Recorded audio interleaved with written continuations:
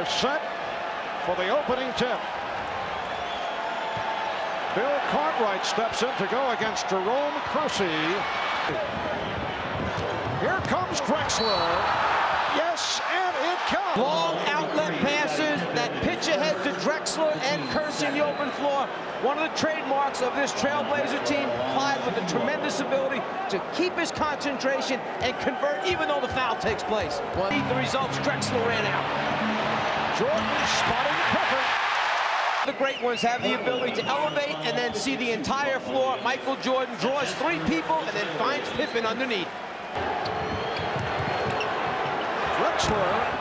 Just over 31% against the Bulls. Michael Jordan. Jordan at the offensive end of the floor, the ability to hang just long enough to get that good look at the front of the rim. Tremendous concentration by... Three on two for the Blazers. Drexler all the way. When you get a guy who can take it at 6-7, lead the break, and then just decide to finish it over the top of everyone, man tells the truth. 11 from the field. Jordan again from three-point land. Now Jordan posting up. Goes to the fadeaway. Through the foul. It counts.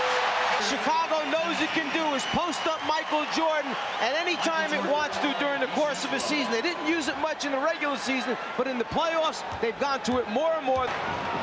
Blazers lead 19-15. Porter again. Terry Porter, don't drop back because he's going to pull up and try to shoot it in your face. He feels it right now in the playoffs. Quick shot. Drexler on the follow-up. For Robinson. Five. There's Pippen. Setting up Jordan. Wide open for another three. Blazers get back. Pippen back for Jordan again for three. In the first quarter. That time he passed it up and hits the two. This Chicago team, you can't wait for the ball to come to you. Oh, a strong move by Kersey to draw the foul, but leads by two. Kersey, the ability to put it on the floor, take it to the basket, one of the big pluses for this Trailblazer team. Chicago, 25, two minutes remaining in the first. Jordan eluding Robinson. Yes, 18. Gonna come out fast or slow. Here, behind the back, he just tricked. Cliff Robinson went right up. He He's in his groove right now. He feeling it. He wants the ball. Shot clock at five. There's Pippen. He's been quiet. Took off on the shot, was down the floor, just waving, hoping Pippen would look up. Danny Ainge buries the three-pointer. From the three-point line. Robinson with the step as he whipped by Williams. We talked about, can Williams guard Robinson? Well, off of this play right here, you'd have to say he's going to have a long night. The same for Clyde Drexler, and they match up once again. Here's Jordan to the fadeaway. Who just checked in. See, Jordan is looking to the lane to see if Grant's open there for a split second. When he doesn't like what he sees there, well, then he makes something nice, nice happen for the team. Jordan for three. Because as the ball goes on the floor, the entire defense of the Trailblazers collapses down below the dotted line area. As a result, when the ball comes back out, it takes Danny Ainge too long to recover, and then he's worried Michael's going to ball fake and go around them. The result, a clean look at the rim for Michael Jordan. Four and a half for an NBA Finals game. That's Jordan with the steal. Eluding Ainge. The deciding factor here might be turnovers, which then lead to quick shots. The turnover caused by Michael Jordan's defense, the quick shot caused by Michael Jordan's offense at the other end. 4-47. Drexler went for the steal, and a Jordan again. 11 for 17, 27.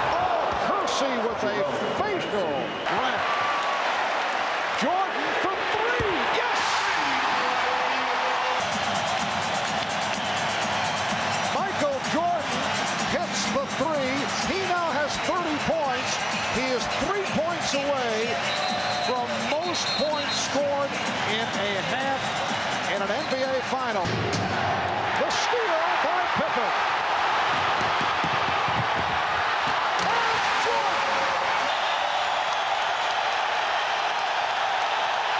Drexler for three, air ball.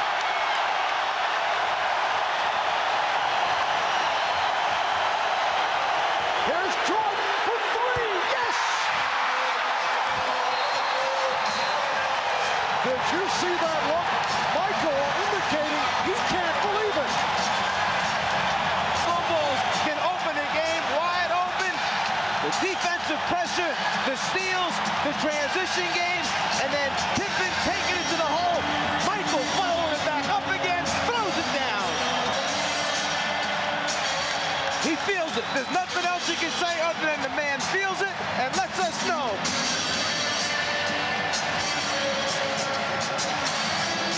Oh, here's that three again. You know, and, and just let us know that, hey, I'm feeling it. I'm feeling good.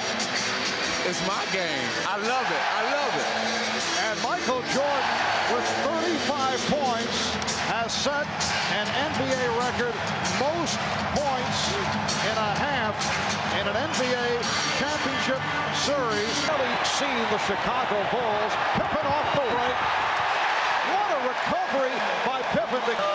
When you can get easy scores off a jump ball situation, it's such an advantage. You take advantage of every opportunity presented to you. The Chicago Bulls. Triple double right now, 10.7 rebounds, 7 assists. At the end of this layup, watch how he almost loses the ball right there, but those big hands hold on just long enough to guide it in. The soft touch by Scottie Pippen.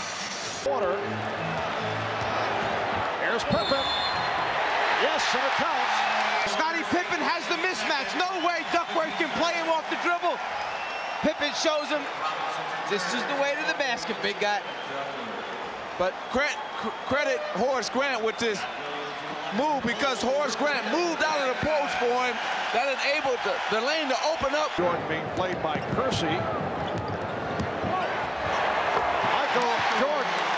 Clock. One way is if you get fouled to go to the free throw line, it stops the Oh, clock. Michael Jordan. That's right, soon.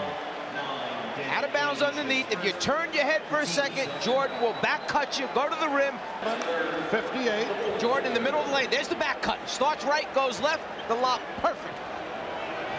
Here's Ainge for three. A few moments ago, the lob to Michael Jordan. Here's how they set it up. The two big men set screens.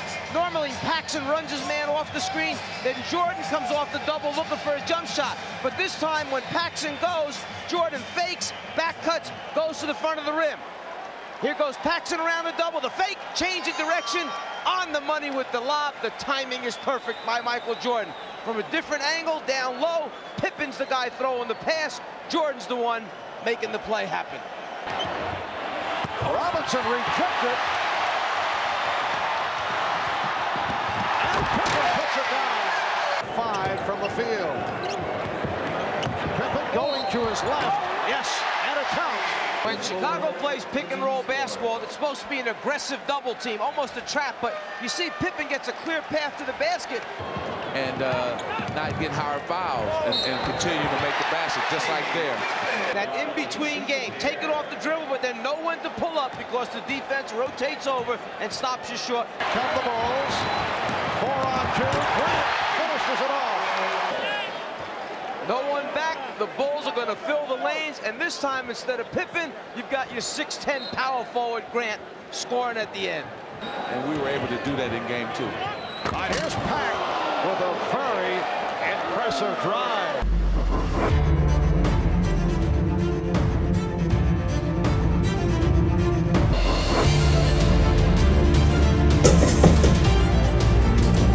Epic Swish! Chain Net Mini Basketball Hoop available now on Amazon. Play basketball inside like you're outside.